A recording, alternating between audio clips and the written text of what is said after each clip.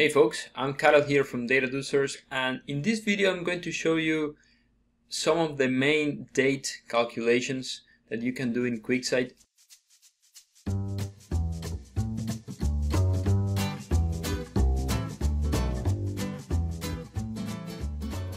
The reason we're doing this video is because one of our viewers had a question about it. So his use case is that he has all the dates in a month and he wants to know what is the ending balance for only the last day of that month. So if you look at the way that you can work with date filters and stuff like that in QuickSight, there's not a way where you can actually define an end of the month or a particular period in which you want to focus on when you have multiple rows of dates in this case. So for that, we're going to use the sales pipeline dataset. Let's take a quick look at it and see what we have here. And we have a date column, which is apparently daily aggregated. And we have other metrics that we really don't care about. But translating the use case into this context, well, let's say that we want to see the weighted revenue for only the last day of each month. So let's go ahead and visualize this. I'm going to select the table here and I'm going to add my date into the rows and my weighted revenue into my values. So now I have for all my dates, I have the weighted revenue for that particular day. But because of my use case, I only want to see the ending balance for the last day of each one of the months. There's no way that I can set up a filter out of the box in QuickSight that is going to return that to me. So I need to create calculated fields to actually accomplish that. So ideally what we would I like to do? Well, I would like to create a calculated field that for each one of the rows returns the last day of that month. So for example, for January 2nd, I will see January 31st. And that's going to be what I'm going to see for all January rows. For February 3rd, then I will see February 29 or 28, depending on the year. And that's going to be the same for all February and so on. So let's go ahead and start building that. I'm going to add a new calculated field. And if you look at here, you have date calculated fields. And there are a couple of them.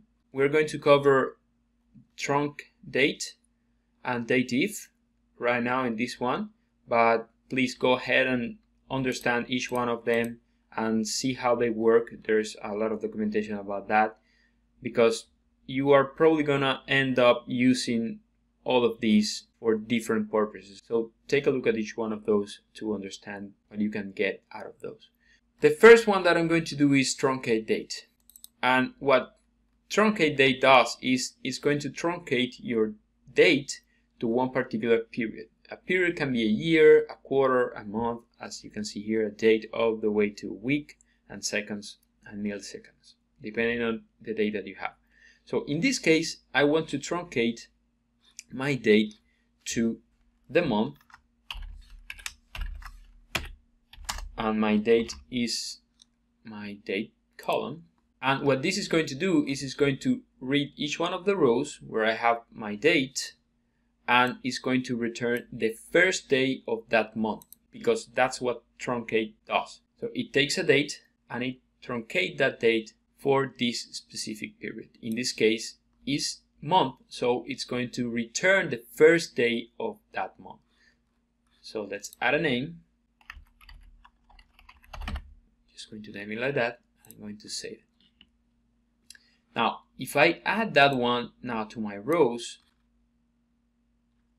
I can see that for all January, it's going to return January 1st, and the same for February, and the same for March. So this is not quite what we want, but we're closer now, because we have fixed the same date for all the rows. Now remember, for January, I want January 31st all the time, and I have January 1st. How do I do that? I could add 30 days, but that is not going to work all the time because not all the months have 31 days. You have month with 30, with 31s, and February is special. So uh, you have to think in a way that dynamically we can change this. So for that, what I can think of, you can have a different plan, is let's edit this calculated field and let's use the date add. And in this case, is add date time. So you will see that it adds or subtract a unit of time from a date time value. And what we want to do now is instead of going to the first day of that month, I want to get to the first day of the next month. So let's add that and I have an amount, a period, and a date time. So what I want to do is add one month. So one, my period is going to be month, and my date is going to be the truncated date. So this should add one month to my truncated date. Let's say that. And now instead of having January 1st, I have February 1st. So I'm going to have the first day for the next month. And that's closer now. But this is not yet what we want. We want the last day of this month. But now this is going to be very easy because now all we need to do is subtract one day from the dates here. And let's go ahead and let's do that. And all we need to do is apply again the add date time function. We are going to subtract one day. In this case, we're going to change the period. We're going to subtract a day from all of this. Now, if we save this, now we have what we want. And this is going to be dynamically calculated because it's going to find the first day of the next month and it's going to subtract one day. So no matter how many days February has, no matter um, the, the number of days for each one of the months, we are always going to get the right result here. And that is great. So now, how can we show only the last day of the month? Because yeah, we have this, but we still have all the days. So now that we know what this field is doing, I'm going to remove it from here. And I'm going to add another calculated field to use as a filter to show only the last day of each one of the months. So I'm going to add a new one and I'm going to say is end of month and here is just a simple conditional saying that if my date, that is going to be the column with all the different dates, equals my calculated date, the field that I just created, meaning that that is only going to be true when the last day of the month is active, then I'm going to return yes, else I'm going to return no. So I'm going to say that. And now for this view, I'm going to add a filter that is going to be based on this field that I just created. And here it's going to be a filter list and I'm going to select only those that end up being yes. And if I apply that, then I only get those months where that matches. So in the case of February, for example, let me go back and February probably doesn't have the 28th right? So that's why February is not showing up here. And that is correct. Probably this data set is not the greatest example for this but that's what we have. So for February is not showing because the data for February 28 in this year is not in the data set. But you have that for March for April for May and so on.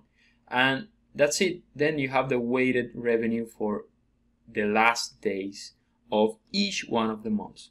So that's achieving what we wanted, right? We wanted to see the weighted uh, revenue for only the last day of the month, and this is going to be dynamic. We don't have to worry about the number of days in each one of the months and so on. We can go even further.